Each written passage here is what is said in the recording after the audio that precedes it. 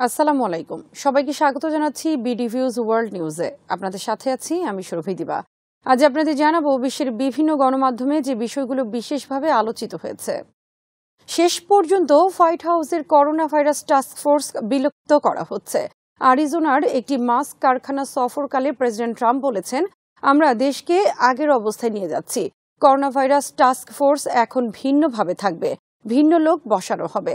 Trump বলেন, কিছু মানুষ মারাত্মকভাবে ক্ষতিগ্রস্ত হবে, কিন্তু তারপরও আমাদের দেশ খুলে দিতে হবে, আর সেটা খুব দ্রুতই খুলে দিতে হবে। এবিসি নিউজকে দেওয়া সাক্ষাৎকারে ট্রাম্প স্বীকার করেছেন, বিভিন্ন রাজ্যে লকডাউন খুলে দিলে এবং ব্যবসা বাণিজ্য চালু হলে করোনায় আরও মানুষ মারা যেতে পারে। প্রেসিডেন্ট ট্রাম্প বলেন, আপনি নিজেকে ঘরে বন্দি রাখতে পারেন না। আমরা আগামী তিন বছর ঘরে বসে থাকতে পারব না। মানুষ অন্যভাবেও মারা যাচ্ছে। কাজকর্ম না থাকার কারণে আত্মহত্যা, মাদকের অপব্যবহার সহ নানা ধরনের প্রভাব পড়েছে। তিনি বলেন, ভাইরাস চলে যাচ্ছে আর আমরা স্বাভাবিক জীবনে ফিরে যাচ্ছি। করোনা ভাইরাসের পরিবর্তে অর্থনীতি পুনরুদ্ধার আর নভেম্বরের নির্বাচনের প্রতি মনোযোগ ফেরানোর সিদ্ধান্ত নিয়েছে ট্রাম্প প্রশাসন। এর আগে গত মঙ্গলবার ভাইস প্রেসিডেন্ট মাইক পেন্স বলেছেন, খুব শীঘ্রই করোনা টাস্কফোর্স বিলুপ্ত করা হতে পারে।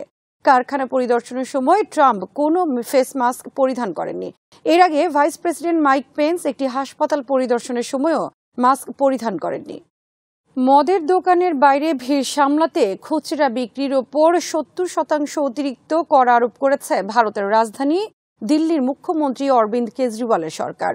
দিল্লি সরকার বিশেষ করোনা ফি নামে এই কর আরোপের ঘোষণা দেয়। তবে এতেও কাজ না হলে সংশ্লিষ্ট এলাকা আবারও বন্ধ করে দেয়া হতে পারে বলে জানানো হয়েছে। রয়টার্সের খবরে বলা হয়েছে, দিল্লি ছাড়াও দক্ষিণাঞ্চলীয় রাজ্য অন্ধ্রপ্রদেশেও মদের দাম বাড়ানো হয়েছে। মদের দোকান খুলে দেওয়ার ঘোষণার পর বিভিন্ন রাজ্যের মদের দোকানের সামনে সকাল থেকে ভিড় জমে যায়। মদ কিনতে হুমড়ি খেয়ে পড়ায়, কোথাও কোথাও পুলিশকে লাঠিচার্জ করতে হয়। এমন পরিস্থিতিতে মদের খুচরা বিক্রির ওপর কর বসানোর ঘোষণা দেয় দিল্লি সরকার। দিল্লির মুখ্যমন্ত্রী অরবিন্দ কেজরিওয়াল বলেন দিল্লির কয়েকটি দোকানের বাইরে বিশৃঙ্খলা দেখতে পাওয়া দুর্ভাগ্যজনক। তিনি বলেন, আমরা সামাজিক শিষ্টাচার ও অন্যান্য নিয়ম ভঙ্গের কথা জানতে পারলে ওই এলাকা বন্ধ করে দেব আর বিধিনিষেধের শিথিলতাও তুলে নেব। মদের দোকান খুলে দেওয়ার পরদিনই ভারতে একদিনে সবচেয়ে বেশি সংখ্যক, প্রায় চার হাজার মানুষ করোনা ভাইরাসে আক্রান্ত হয়েছে। দেশটিতে উনপঞ্চাশ হাজার লোক করোনায় আক্রান্ত হয়েছে আর মারা গেছে চোদ্দশো পঁয়ত্রিশ জন। চীনের হুবেই প্রদেশে খুলে দেওয়া হয়েছে স্কুল। গ্রেড টুয়েলভ এবং গ্রেড নাইন শিক্ষার্থীরা ক্লাসে যোগ দেওয়া শুরু করেছে। গ্রেড টুয়েলভ শিক্ষার্থীরা বিশ্ববিদ্যালয়ে ভর্তি পরীক্ষার্থী। ক্লাসে যোগ দেওয়ার আগে তাদের সবার করোনা টেস্ট করতে হয়েছে। ক্লাসেও মেনে চলতে হবে সামাজিক দূরত্ব। চীনের হুবেই প্রদেশ থেকেই গত ডিসেম্বরে ছড়িয়ে পড়ে করোনা ভাইরাস। চীনের রাষ্ট্রীয় বার্তা সংস্থা জিন হুয়ার খবরে বলা হয়েছে গত বত্রিশ দিনে হুবেই প্রদেশে নতুন কোনো করোনা রোগী ধরা পড়েনি। যুক্তরাষ্ট্র অভিযোগ করছে, চীন করোনা মোকাবেলায় সফল হয়নি, বরং হুবেই প্রদেশের উহান শহরের একটি ল্যাব থেকে করোনা ছড়িয়ে থাকতে পারে। এ নিয়ে যুক্তরাষ্ট্র ও চীনের মধ্যে বাকবিতণ্ডতা চলছে। এর মধ্যেই হুবেই প্রদেশের স্কুল শিক্ষা প্রতিষ্ঠান খুলে দেওয়া হলো। বুধবার দুপুর পর্যন্ত বিশ্বে করোনায় মারা গেছে দুই লাখ উনষাট হাজার মানুষ। আক্রান্ত হয়েছে সাঁত্রিশ লাখ ত্রিশ হাজারের বেশি। বাংলাদেশে গত চব্বিশ ঘন্টায় নতুন করে সাতশো নব্বই জনের মধ্যে করোনা ভাইরাস শনাক্ত হয়েছে। এখন পর্যন্ত একদিনে এটি সর্বোচ্চ সংখ্যক শনাক্ত হওয়া রোগীর সংখ্যা। এ নিয়ে মোট আক্রান্তের সংখ্যা দাঁড়িয়েছে এগারো হাজার সাতশো উনিশ জনে। গত চব্বিশ ঘন্টায় মারা গেছেন তিনজন এ পর্যন্ত করোনা ভাইরাসে আক্রান্ত হয়ে মারা গেছেন মোট একশো ছিয়াশি জন। ইউরোপে করোনায় মৃত্যুর সংখ্যার দিক দিয়ে শীর্ষ স্থানে পৌঁছেছে ব্রিটেন। করোনায় ব্রিটেনে হাসপাতালে মৃত্যুর সংখ্যা ছাড়িয়েছে উনত্রিশ হাজার পাঁচশো। আর ইটালিতে সরকারি হিসেবে মৃত্যুর সংখ্যা উনত্রিশ হাজার তিনশো পনেরো জন। তবে ব্রিটেনে করোনায় মৃত্যুর সংখ্যা সরকারি হিসেবের চেয়ে বাস্তবে অনেক বেশি। ইউরোপের অপর দুই দেশ, স্পেন এবং ফ্রান্সে করোনায় মারা গেছে প্রায় ছাব্বিশ হাজার মানুষ। ব্রাজিলে মঙ্গলবার চব্বিশ ঘন্টায় করোনায় মারা গেছে ছয়শো। একদিনে আক্রান্ত হয়েছে প্রায় সাত হাজার মানুষ। এ পর্যন্ত ব্রাজিলে করোনায় মারা গেছে আট হাজার। আক্রান্ত হয়েছে এক লাখ ষোলো হাজার মানুষ। যুক্তরাষ্ট্রের মৃত্যুর সংখ্যা ছাড়িয়েছে বাহাত্তর হাজার। আক্রান্ত হয়েছে বারো লাখ আটত্রিশ হাজার মানুষ। ভারতে আক্রান্ত হয়েছে প্রায় পঞ্চাশ হাজার মানুষ। মারা গেছে এক হাজার সাতশো জন। পাকিস্তানে করোনায় আক্রান্ত হয়েছে প্রায় তেইশ হাজার মানুষ। বুধবার দুপুর পর্যন্ত মারা গেছে পাঁচশো ছাব্বিশ জন। এদিকে রাশিয়ার হাসপাতালের জানালা দিয়ে তিনজন করোনা চিকিৎসকের ঝাঁপিয়ে পড়ার রহস্যজনক ঘটনা ঘটেছে। এতে দুইজন ডাক্তার মারা গেছেন। এই ঘটনাকে ডাক্তারদের কাজের উপযুক্ত পরিবেশের অভাব এবং করোনা মোকাবেলায় রাশিয়ার চিকিৎসা ব্যবস্থার দুরবস্থার প্রতীক হিসেবে আখ্যায়িত করেছে পশ্চিমা গণমাধ্যম। ভেনিজুয়েলায় সরকার বিরোধী অভ্যুত্থান চেষ্টার সাথে জড়িত থাকার অভিযোগ অস্বীকার করেছেন যুক্তরাষ্ট্রের প্রেসিডেন্ট ডোনাল্ড ট্রাম্প। ভেনিজুয়েলার সরকার বিরোধী অভ্যুত্থান চেষ্টার সাথে জড়িত থাকার অভিযোগে কয়েকজনকে গ্রেফতার করা হয়েছে। এর মধ্যে দুইজন রয়েছে মার্কিন নাগরিক। ভেনিজুয়েলার প্রেসিডেন্ট নিকোলাস মাদুর অভিযোগ করেছেন মার্কিন এই দুই নাগরিক তাকে হত্যার চেষ্টার সাথে জড়িত। তাদের পেছনে রয়েছে কলম্বিয়া আর মার্কিন যুক্তরাষ্ট্র। এই প্রসঙ্গে ওয়াশিংটনে সাংবাদিকদের ট্রাম্প বলেন, আমি মাত্র শুনেছি দুইজন আমেরিকান গ্রেফতার হওয়ার কথা। এ ঘটনার সাথে আমাদের সরকারের কোনো সম্পর্ক নেই।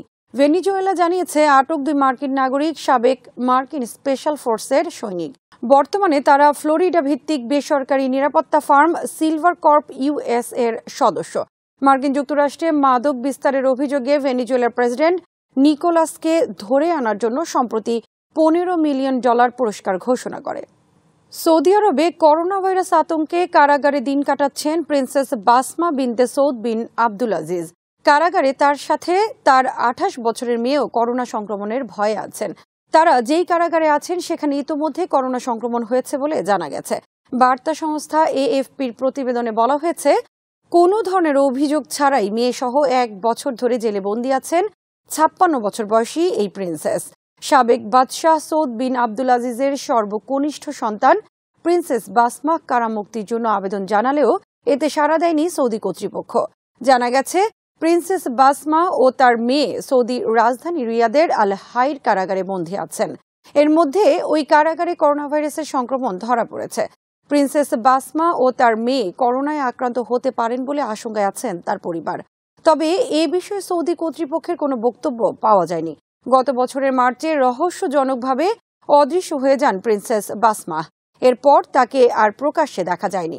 সৌদি রাজ পরিবারের সদস্য প্রিন্সেস বাসমাকে নারী অধিকার ও সাংবিধানিক রাজতন্ত্রের সমর্থক হিসেবে দেখা হয়।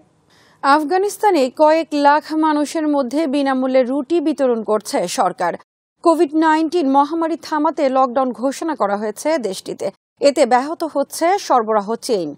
ফলে দাম বেড়ে যাওয়ায় সাধারণ মানুষের ক্রয় ক্ষমতার বাইরে চলে গেছে খাবারের দাম। এমন অবস্থায় এগিয়ে এসেছে সরকার। প্রাথমিকভাবে, রাজধানী কাবুলের আড়াই লাখের বেশি পরিবারকে প্রতিদিন দশটি করে রুটি দেওয়া হচ্ছে। যুদ্ধ বিধ্বস্ত আফগানিস্তানে দরিদ্র সীমার নিচে বাস করেন অর্ধেকের বেশি মানুষ। লকডাউনের প্রভাবে তাদের জীবনে বড় ধরনের দুর্যোগ নেমে এসেছে। গত মার্চ মাস থেকেই লকডাউন চলছে সেখানে। ফলে সাধারণ মানুষের মধ্যে খাদ্য চাহিদা বেড়েই চলেছে। সেভ দ্য চিলড্রেন জানিয়েছে, লকডাউনে আফগানিস্তানে প্রায় তিহাত্তর লাখ শিশু অনাহারে, অর্ধাহারে রয়েছে।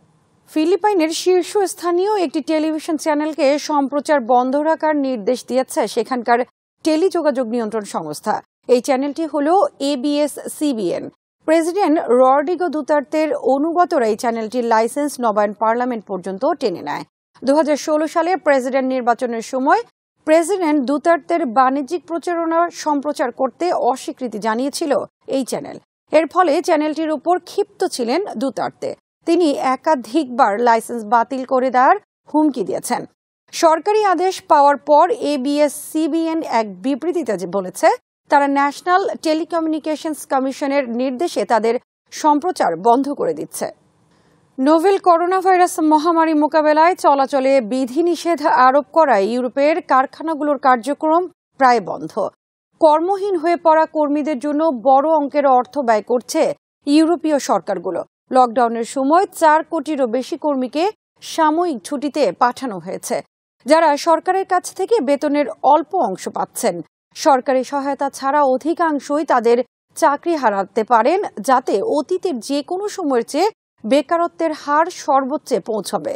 ব্লুমবার্গের খবরে বলা হয়েছে, যদি ঝুঁকিতে থাকা সব শ্রমিক বেকার হয়ে পড়েন, তবে ইউরো অঞ্চলের চার বৃহত্তম অর্থনীতি, জার্মানি, ফ্রান্স, ইটালি, স্পেনের বেকারত্বের হার লকডাউনের চূড়ান্ত পর্যায়ে সর্বোচ্চ বিয়াল্লিশ শতাংশে পর্যন্ত দাঁড়াতে পারে।